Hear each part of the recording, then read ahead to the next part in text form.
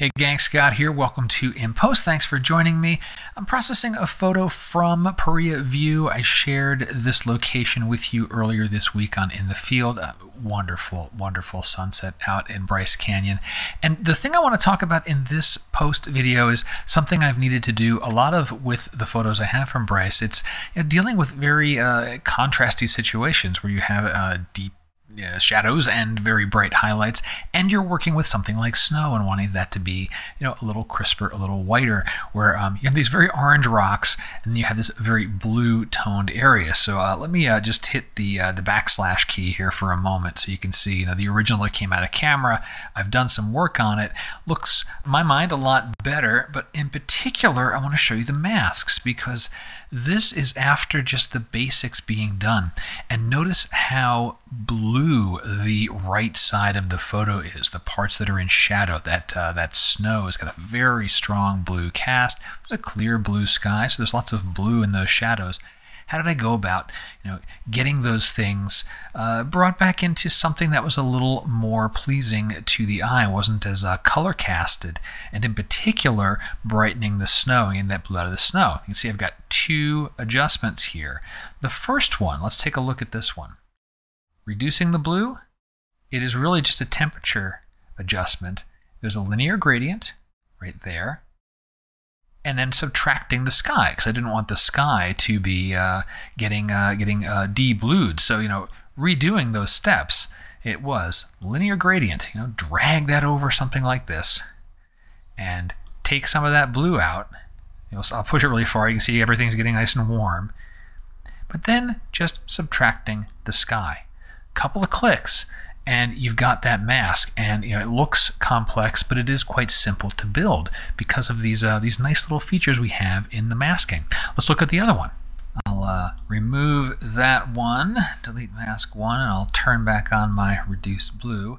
The snow before and after. You can see a very strong change there in the snow. How was this done? A little more complicated.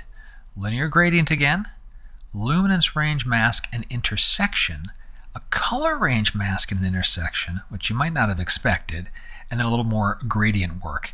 Uh, to uh, this was to limit things on the on the top part of the photo right there. So uh, let's build that up from the ground up here. So let's uh, let's hide that one, and we'll make a new one here. Linear gradient. So same thing again. I'm kind of dragging this all over this section here, and my goal is to brighten the snow.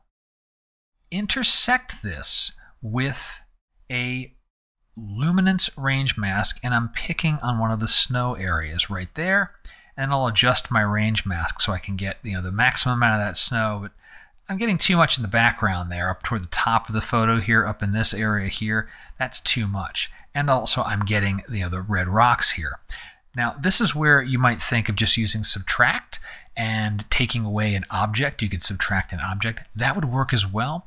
I chose to double down on the intersection and intersected this mask. So these two things intersected again with color range, and I just chose that same snow tone, like right, uh, let's choose right here.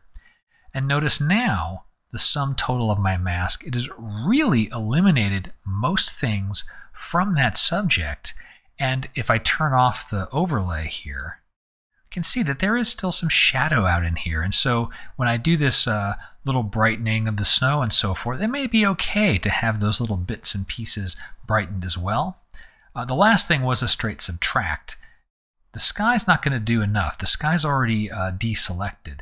So just another gradient to say, you know, uh, let's just tone down what's happening up at the top of that photo. So really just a couple of simple gradients and then leveraging the range masks. And now I can say, brighten the snow. I'm going to push that really far. You can see it goes like, you know, almost nuclear. I can brighten that snow and I can desaturate it. So I'm taking that bluish tone out of it and leveraging some intersections and some masks. And uh, I talked about intersecting masks and how those uh, those work and operate in another video. I'll leave a link in the show notes for you. But uh, I just thought I'd share a couple of these things where I'm having to work with these uh, these targeted masks, but uh, leveraging range masks in particular to to be able to do these more complex masking operations with fewer clicks. Hope you found the video useful. Got questions? Drop them below. And until next time, my name's Scott Davenport. Have fun.